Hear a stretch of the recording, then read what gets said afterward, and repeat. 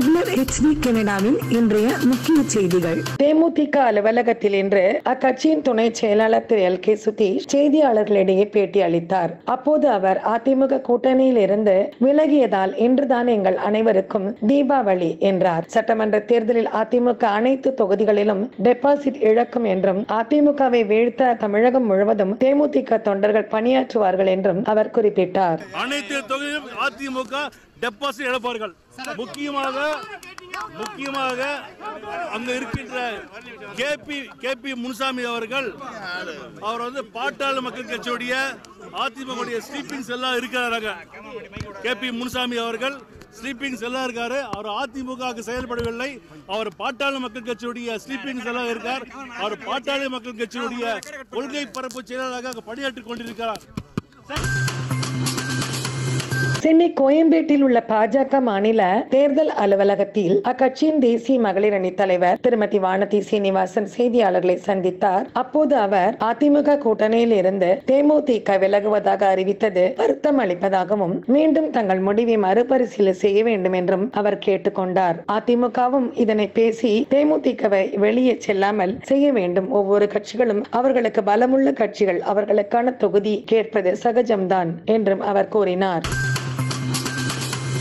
சென்னை அண்ணா அறிவாலயத்தில் திமுக உடனான கூட்டணி கட்சிகள் தொகுதி பங்கீடு குறித்த ஆலோசனை கூட்டம் நடைபெற்றது. மதிமுக சார்பாக மல்லை சத்யா செய்தியாளர்களிடையே பேசுகையில் தொகுதி பங்கீடு கூட்டம் சுமூகமாக முடிவுற்றதாகவும் மகிழ்ச்சி அளிப்பதாகவும் இன்று மாலை மதிமுக பொதுச் செயலாளர் திரு வைகோ எந்தெந்த தொகுதியில் மதிமுக போட்டியிடும் என்பது குறித்து அறிவிப்பார் என்றும் தெரிவித்தார். புதுச்சேரி சட்டமன்ற தொகுதி பங்கீடு குறித்த பேச்சுவார்த்தை மீண்டும் இன்று மாலை துவங்கும் என்று திரு நாராயணசாமி தெரிவித்தார். சென்னை அண்ணா அறிவாலயத்தில் கட்சி சார்பாக அவர் கலந்து கொண்ட போது சுமூகமாக பேச்சுவார்த்தை முடிந்ததாகவும் அடுத்த கட்ட பேச்சுவார்த்தை அக்கட்சியின் தேர்தல் பொறுப்பாளர் தினேஷ் குண்டுராவ் தலைமையில் நடைபெறும் என்றும் திரு. நாராயணசாமி தெரிவித்தார். இந்திய யூனியன் முஸ்லிம் கட்சி நிர்வாகிகள் அதில் பங்கேற்றனர். இந்த ஆலோசனைக்கு பிறகு செய்தியாளர்களிடையே திரு. காதர் மொய்தீன் பேசினார். கடையநல்லூர் தொகுதி அவர்களுக்கு ஒதுக்கப்பட்டுள்ளதாகவும் ஆம்பூர் அல்லது வாணியம்பாடி கேட்டுள்ளதாகவும் பாபநாசம் சிதம்பரம் இதில் ஏதேனும் ஒன்றுக்கு கோரிக்கை வைத்துள்ளதாகவும் தெரிவித்தார். இந்த கூட்டத்தில் திமுக தரப்பில் திமுக பொதுச் செயலாளர் திரு துரைமுருகன் துணை பொதுச் செயலாளர் திரு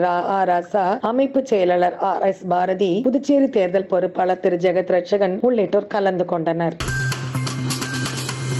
தமிழ் தேசிய புலிகள் கட்சி தலைவர் திருமன் சுரலிகான் சென்னை நுங்கம்பாக்கத்தில் உள்ள தமிழகத்தில் இருந்து அக்கட்சியின் தேர்தல் அறிக்கையை வெளியிட்டார். பல்வேறு அம்சங்கள் அந்த அறிக்கையில் இருந்தாலும் தொழிலதிபர்களின் கடன்களை தள்ளுபடி செய்ததை ரத்து செய்து மீண்டும் அவற்றை வசூலித்து பொதுமக்களுக்கு அளிப்பதாக அவர் கூறியுள்ளார். மேலும் சாராய ஆலைகள் மூடப்படும் என்றும் அவரது தேர்தல் அறிக்கையில் தெரிவித்துள்ளார்.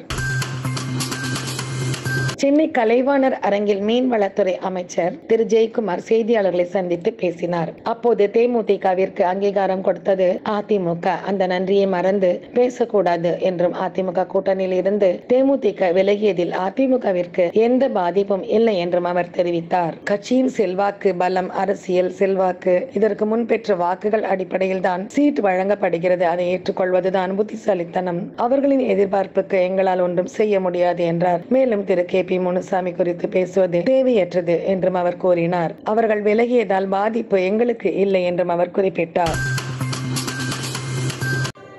கெனடிய செய்திகள்.